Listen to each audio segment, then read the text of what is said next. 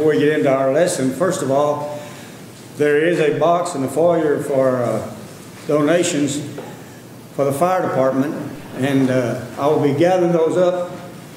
I forgot my headpiece. I'll be gathering those up tonight and taking them uh, to the department tomorrow. So if uh, you uh, want to donate anything, you'll do that tonight. Also,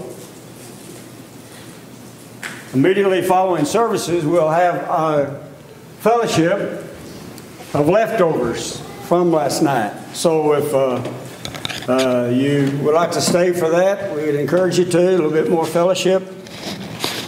And this bunch does like to fellowship.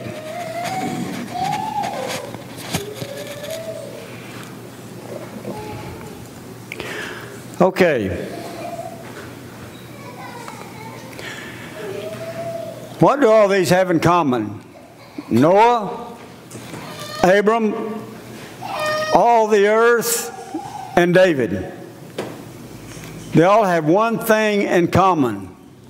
That one thing is God established a covenant with them.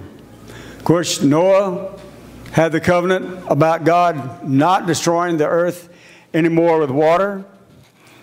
The earth had a covenant with God almost from the very beginning. In Romans 8, we see that uh, uh, it awaits the uh, second coming for its, its uh, relief.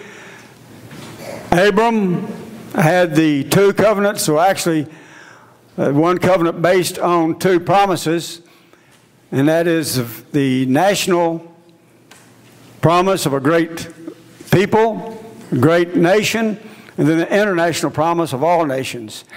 And of course, David. David's, David's uh, covenant was that his throne would last forever. Now, we're going to talk about tonight our one sermon, one word sermon is covenant. Covenant. And we're going to talk about covenant. Now, you can probably see or tell from what we said a moment ago that covenants really were based on promises, God's promise to these individuals in the earth. And uh, so the covenant goes with the promise. So we're going to look at these covenants in just a minute. The English word comes from two Latin words that mean to come together two parties come together and they can make an agreement or a covenant. In the Hebrew, the word barith means to cut. It's a cutting or a compact that is made by passing between pieces of flesh. That's how they made these covenants in the Hebrew, and we'll talk about that in just a moment. We'll see that illustrated in Genesis 15, 18. In the Greek, diatheke, covenant, is a testimony or will. They, these words are used interchangeably throughout the book of Hebrews. And either word will, will suffice, it will go uh, with the others. God's covenant to Abraham was based on his promise. Genesis 15, verse 3. Then Abraham said, or Abram said, Look, you have given me no offspring. Indeed, one born in my house is my heir. And behold, the word of the Lord came to him, saying, This one shall not be your heir, but one who will come from your own body shall be your heir. Then he brought him outside and said, Look now toward heaven. Count the stars if you are able to number them. And he said to him, So shall your descendants be. In verse 8, and he said, Lord God, how shall I know that I will inherit it? Now, this sets up the covenant. You've got the promise, and now you're going to have the covenant. God told Abraham, Abraham to go get a heifer of three years old, get a she goat of three years old, and a ram of three years old, a pigeon, and a dove. and to cut in half the heifer, the ram, and the she goat, and then divide their portions. Now, to show that they were in agreement to the terms of the covenant, they would walk through the middle of those pieces of flesh, thus establishing a covenant. That's exactly what God does. Now, normally, as I mentioned, both parties walk through these pieces of flesh. But when Abraham was sound asleep and evidently having a horrible night, God passed through as a smoking oven and a lit torch. He passed through on his own. Now, you have represented in these covenants is first of all the parity. The parity is when both those that's going to be involved in the terms pass through these pieces of flesh. When they both do, they both agree on the terms. A unilateral covenant is what God did. He set up the terms and expected man to be obedient to those terms. And he walked through. So this was a, an agreement that is put forth by one person. And the other person has to uh, follow that, uh, that uh, the wills of that one that passed through by itself. That's a unilateral covenant. That's what God did. It's what God always does. God doesn't need any help. And by the way, God doesn't need our agreement when it comes to these covenants. And He did it on His own. He determined the terms and stipulations. In Jeremiah 31, Jeremiah in prophecy talks about the future. That there is going to be two covenants. The first covenant that was already in existence,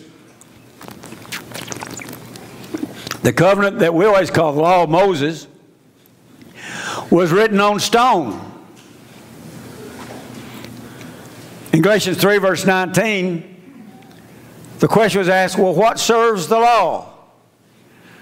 Paul said it was added because of transgressions. And it was a schoolmaster, verses 24 and 25, to bring us to Christ. And it did not annul the promise that was made through Abraham. Now, Galatians 3 is a very significant chapter in the Bible when it comes to these covenants especially the first covenant. Don't you do it. See if I can get before it kicks me off. It did not annul. In other words, it didn't take the place. It was almost as if the Jews thought that when the law came, it took place of the promise, or it was the promise. Paul assures them that's not the case. The promise is that one, the seed of Abraham would come. And the law didn't annul that. In fact, it came because of the sins of the people. They were about to destroy themselves. So for their transgressions, the law was, was uh, in place. Then he talks about the new covenant. He said it'll be written on the heart we also can find that in 2 Corinthians chapter 3, like a letter written on the heart, not on stone. As a result of this covenant, God will be our God. We will be His people. We will be God's possession. Lastly, through this covenant, we enjoy the forgiveness of sins. What the first covenant could not do, the second covenant will do. The old covenant was perfect. That's the problem. We couldn't keep it. We could not keep the old covenant. He said if there was a covenant or, or if there was any kind of faith or salvation that would come from the law, it would be the law of Moses because it was perfect. Romans 3. But man couldn't keep it. Try as he may, there's only one individual that ever kept the law, and that was Jesus Christ. We couldn't keep it. Moses couldn't even keep it. Hebrews 8, verse 13, in that he says a new covenant, he has made the first covenant. Now, what's the first covenant? The law of Moses. It's what we've already established. He's making the first covenant obsolete. Now, what is becoming obsolete and growing old is ready to vanish away. Colossians 2, verse 14. Having wiped out the handwriting of, of requirements that was against us, which was contrary to us, and he has taken it out of the way, having nailed it to the cross. What is those handwriting requirements? It's the same thing that was written on stone. It's the law. Ephesians 2, verse 15, having abolished in his flesh the enmity, that is the law of commandments. Now, it don't get any plainer than that.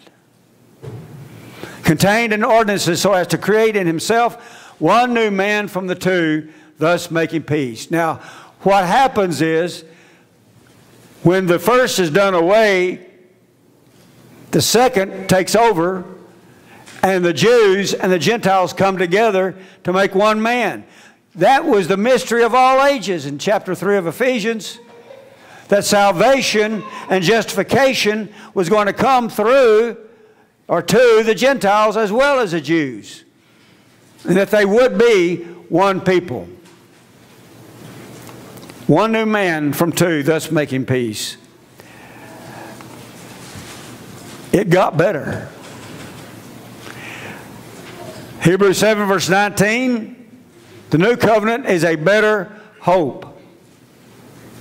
You know, Peter tells us that the old law the prophecies and the prophets only, had, only could look forward to what was taking place.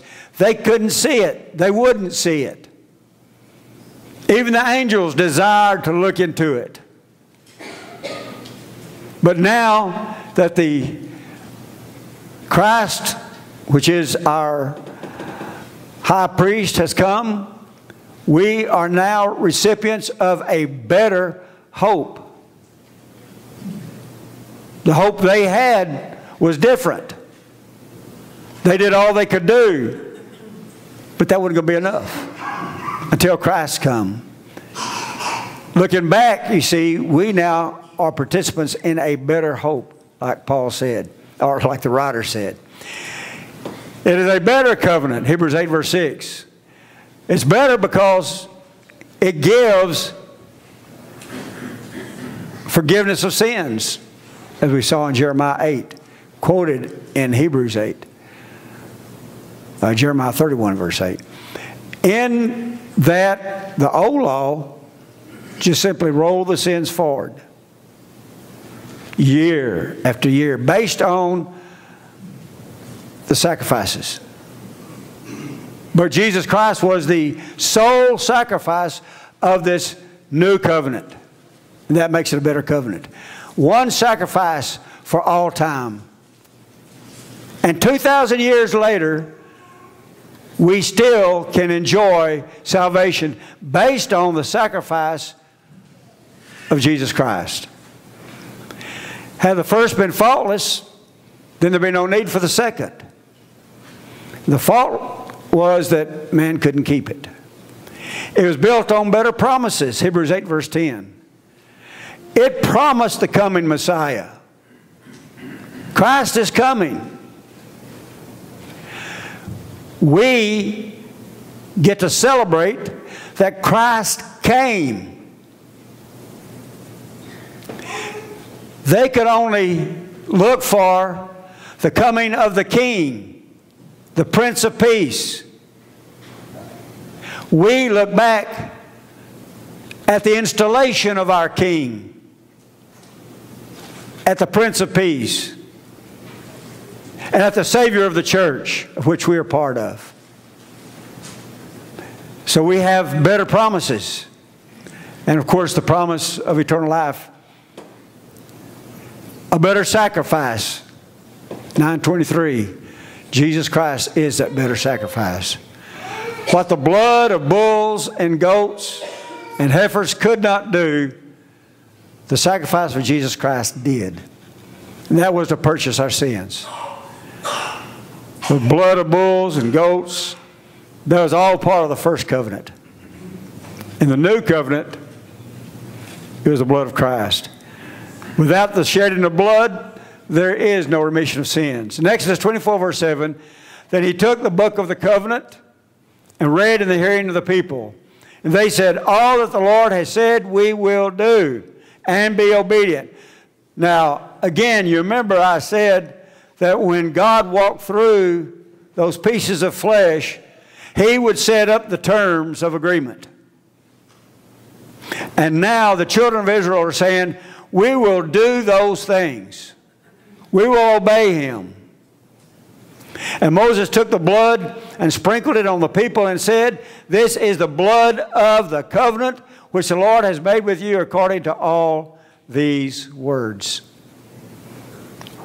So these, this agreement was solidified by the shedding of blood.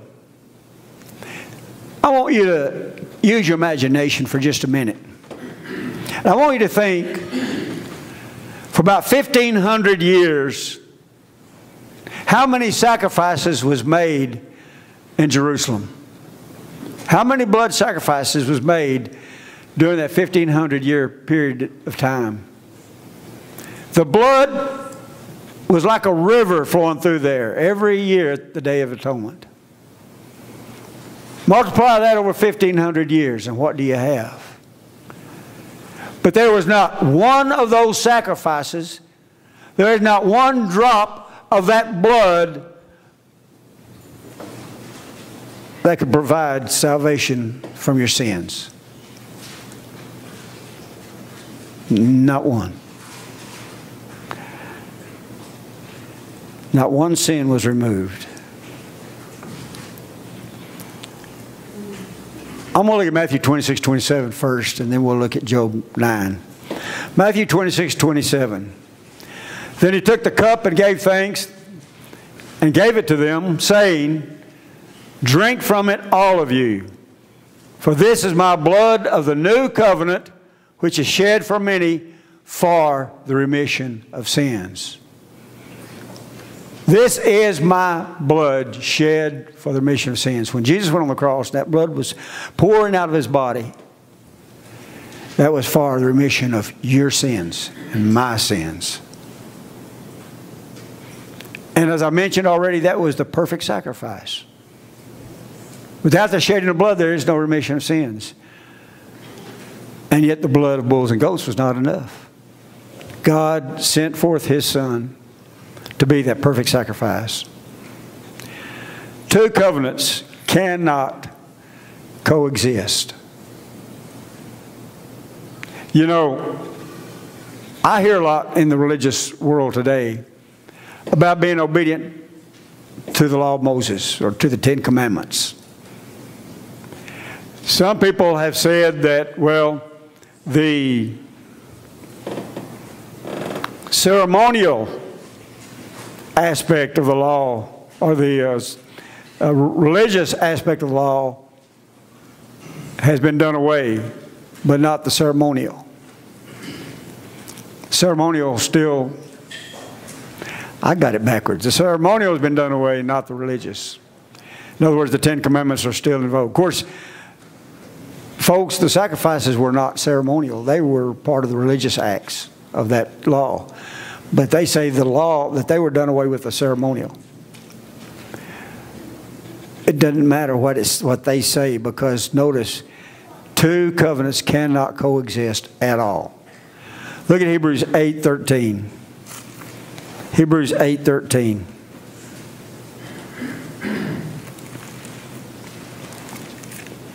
I'm jumping all over the uh, lessons that Joe's already presented, but uh, just a refresher course. Hebrews 8 and verse 13.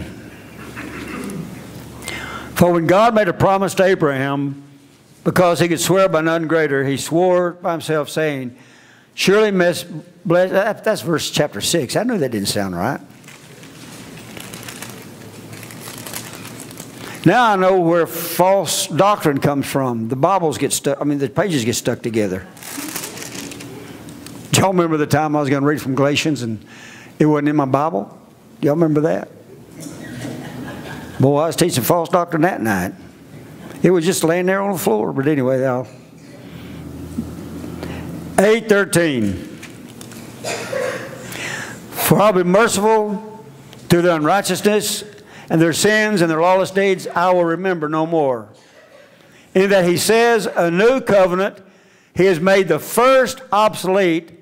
Now, what is becoming obsolete and growing old is ready to vanish away. The first one is obsolete, it's in the point of vanishing away. Chapter 10 verse 9.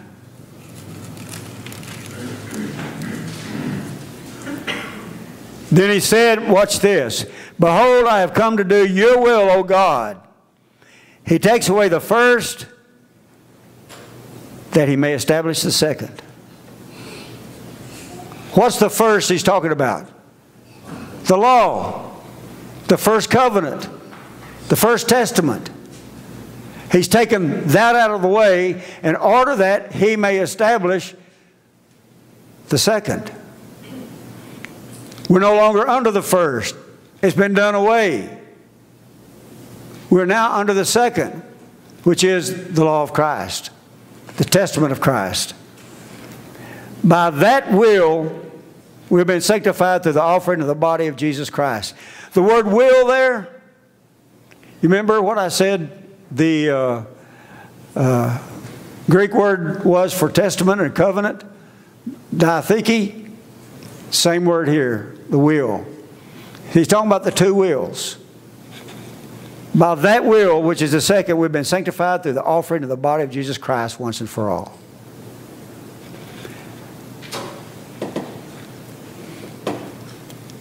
Look at Job 9 32. Job 9 32. This is one of those wow moments.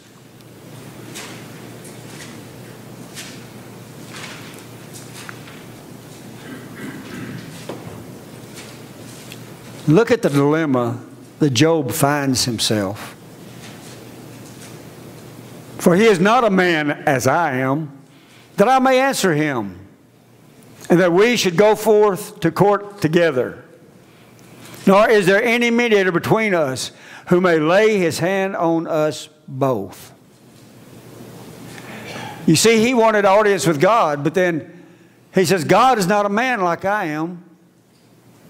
Who is going to negotiate between me and God? Who's going to be my mediator between me and God? There's no man on this earth that can mediate between God and man. Not even the priests. Not really. They could make known the will of God, but they did a bad job of trying to be a mediator between God and man. So, Job says, Who may lay his hand on both? That was what a negotiator did, a mediator did. He would lay his hands on both parties to signify unity. Who could do that? God was already working to make that happen through the plan of salvation, through Jesus Christ, who is now our best mediator. Hebrews 9, verse 12 Not with the blood of goats and calves, but with his own blood, he entered the most holy place once and for all, having obtained eternal redemption. For if the blood of bulls and goats and the ashes of a heifer, sprinkling the unclean, sanctifies for the purifying of the flesh, how much more shall the blood of Christ, who through the eternal Spirit offered himself without spot to God, Cleanse your conscience from dead works to serve the living God.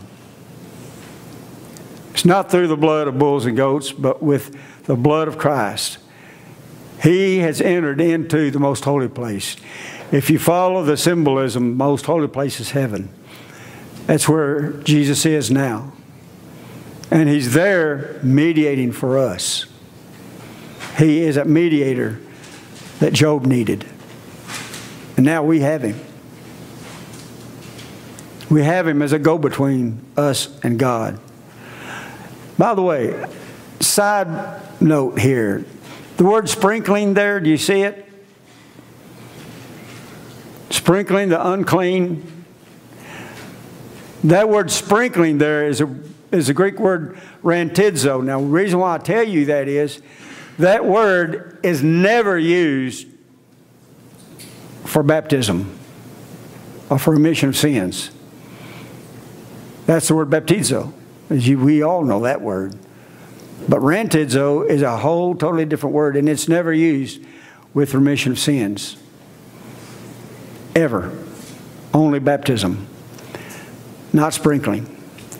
Hebrews 13, verse 20. Now may the God of peace, who brought up our Lord Jesus from the dead, that great shepherd of the sheep, through the blood of the everlasting covenant.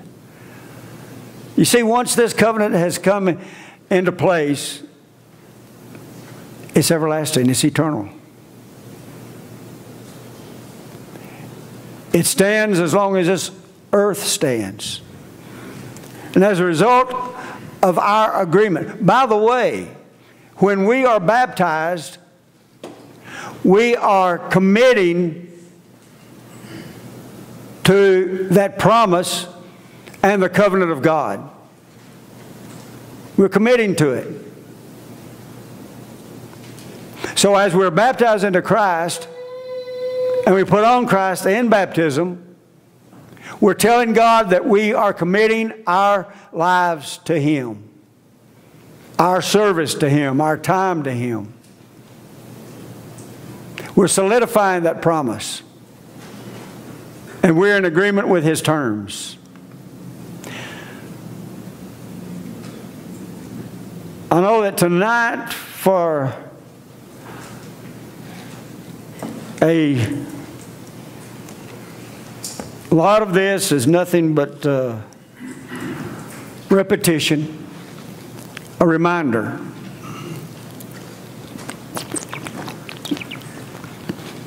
But I would have you to know that we are only under one covenant, and it's the new covenant. It's not Moses' covenant. That covenant was made obsolete and has been done away with. We're under the new covenant of Jesus Christ. That covenant which was purchased by his blood. God arranged this covenant. And by the way, God arranged the terms of this covenant,